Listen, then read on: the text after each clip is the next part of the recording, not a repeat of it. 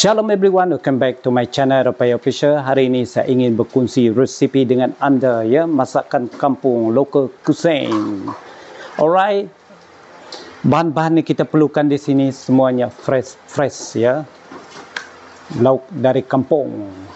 Alright guys, jom kita tengok bahan-bahannya. Okay guys, bahan-bahan kita di sini ya. Di sini saya menggunakan pucuk paku pakis. Paku pakis. Kulat white mushroom ya, fresh ya. Di sini juga saya menggunakan beberapa slice ikan sultan dan udang ya. Untuk bahan tumisnya saya menggunakan shalut bawang merah, ginger, bawang putih dan cili ya, lada. Bahan ni simple saja guys, ni masakan rumah panjang ya local cuisine masak rumah panjang ya. Kampung kusen di sini saya menggunakan halia ya. Kita slice.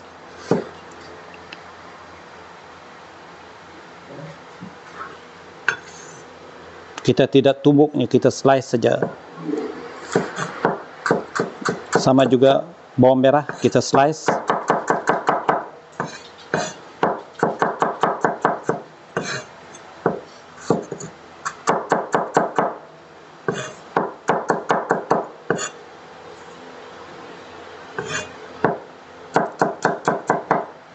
bawang putih juga kita slice. Kalau kita nak halus pun boleh juga ya.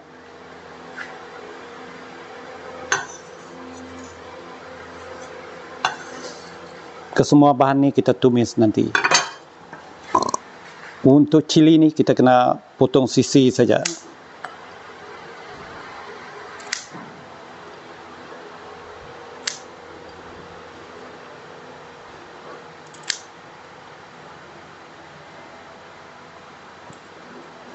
Alright guys, kesemua bahan ni sudah pun siap di prepare. Jom kita memasak sekarang ya. Kita mulakan aktiviti memasak.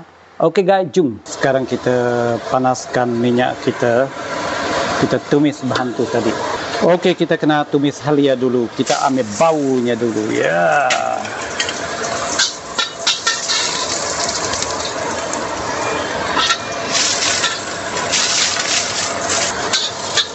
Okey, kita masukkan bawang merah dan bawang putih.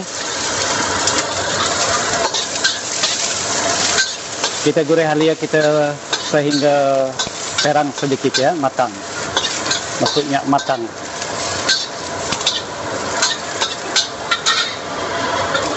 Masukkan lada, cili. Dan kita masukkan air ya.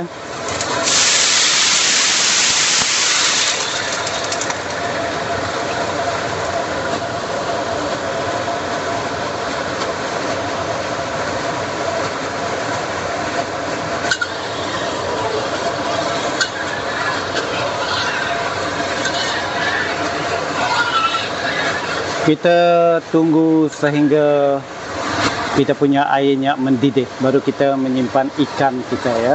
Ikan udang one go sekali ya. Ok guys kita tutup dulu. Sekarang kita cek kita punya kuah tadi mendidih sudah ya. Sekarang kita masukkan flavor. Kita masukkan flavor.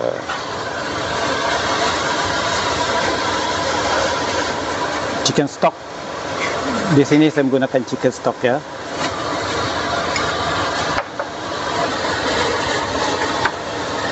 Dan tidak ketinggalan saya menggunakan fish sauce. Sebab saya masak ikan udang pucuk paku pakis memang sinonim dengan fish sauce ya. Tapi jangan terlalu banyak ya sebab ni masin. Fish sauce ni sudah ditapai ya. Fermented fermentation sudah kita habiskan. Kita tes guys dulu.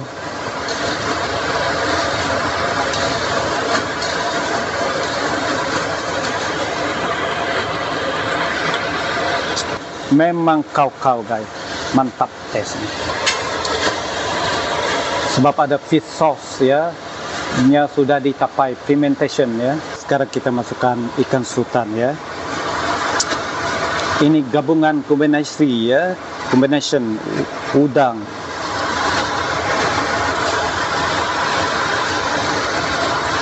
Memang gabungan yang cocok sekali. Gabungan yang cocok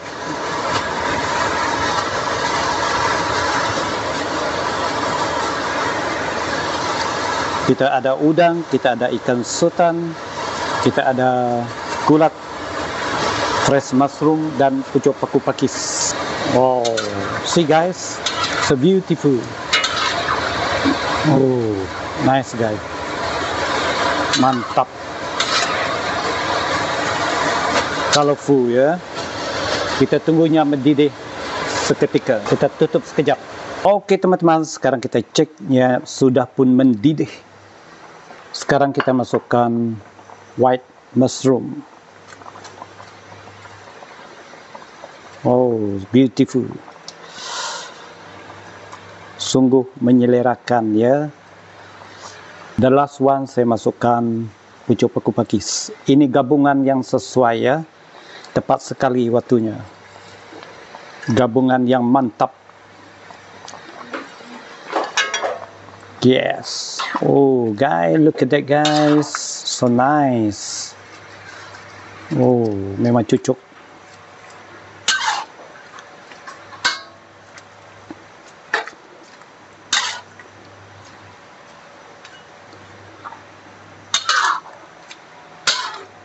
Kita ada udang, ada pucuk pakis, ada pucuk pakis, ada kulat, ikan sultan, labis labis wow so beautiful guys. See? Nice.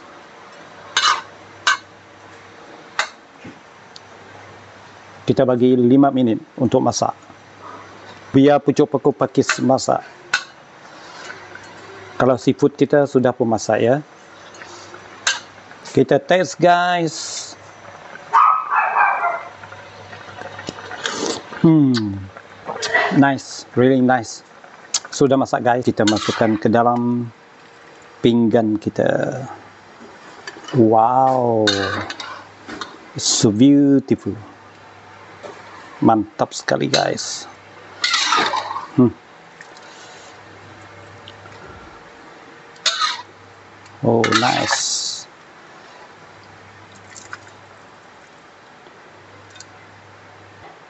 gabungan yang mantap.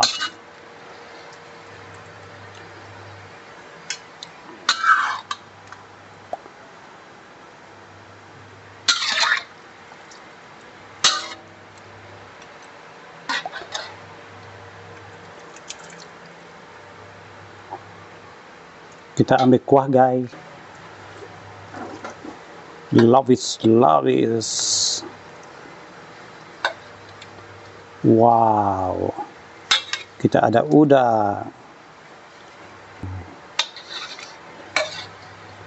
Beautiful. Right. Inilah dia guys.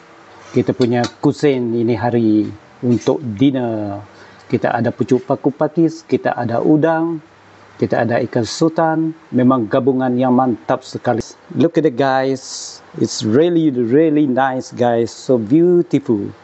It's nice, love is love is local cuisine kita ya.